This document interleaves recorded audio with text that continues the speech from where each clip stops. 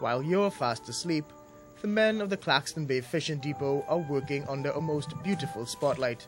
Good Friday nears, and they have a country to feed. You can't really tell the story of a fisherman without going out to sea. So here we are, another 4 o'clock morning, and we're going to see exactly what goes on when these guys cast off.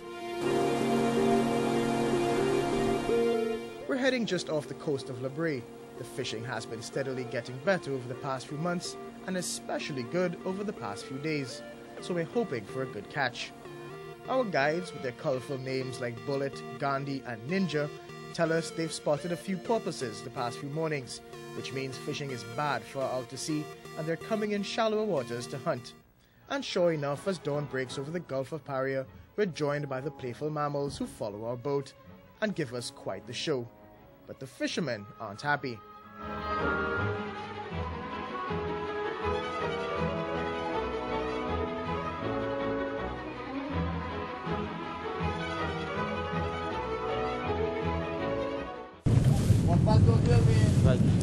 So what's great for us that we're seeing a bunch of porpoises or, or dolphins. The problem with them is they actually destroy the nets and they run the fish away from where we want to be. So good for us, bad for them. But there's not much time to be upset. There's a school of mullet in the water and they have to make a choice. Go for it and risk the porpoises destroying the net or forget it and move on. You feel like a push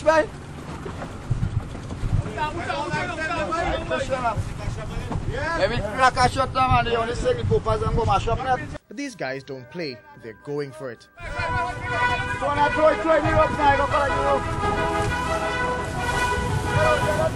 The two boats combine nets and then take off in separate directions, forming a circle around the fish, trapping them inside.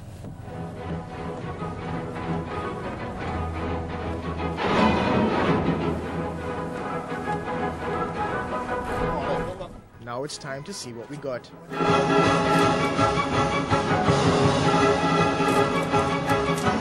To celebrate the hard work, my cameraman Brendan gets in on the action, realizing the hard way that the fishermen are only making it look easy.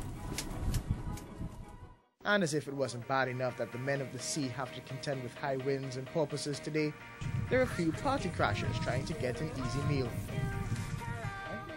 But it's okay.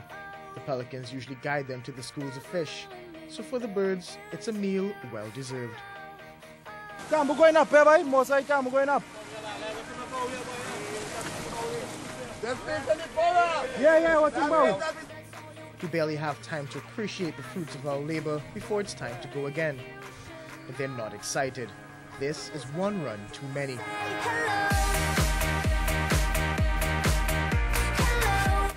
Yeah, sometimes we only done one leg, but you see two other poppers and they split up.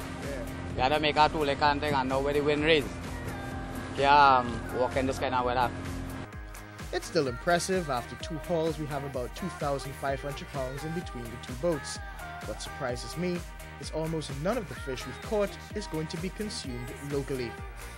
Oh, this, this, this kind of this shipping out the Venezuela is going down here with this, some people from people from Syria come and they can up this and them go down main carry down this Venezuela. Our customer they sell them more, more better than carry and, and thing, thing.